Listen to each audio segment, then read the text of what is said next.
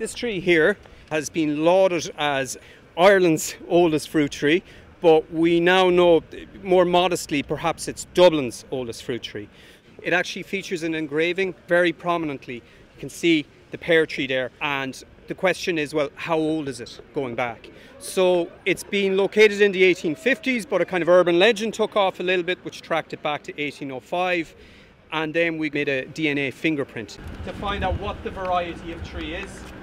So what we discovered is it's a Maréchal du Coeur and it was first raised. DNA identified it that the tree is called a Maréchal and it first featured on, on the continent in the 18, 1842 and in the 1847 it arrived in Great Britain and Ireland and that would place the tree then determinately in the 1850s which is an incredible age it's very special. It's here. It's quite a hostile urban ground here. It's surrounded by tar macadam and pavement.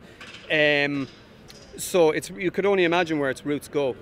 So what we do with the pears in NCAD is we make a jam from them. And this is a kind of introductory project for students. It's their first day. So this is a kind of an icebreaker.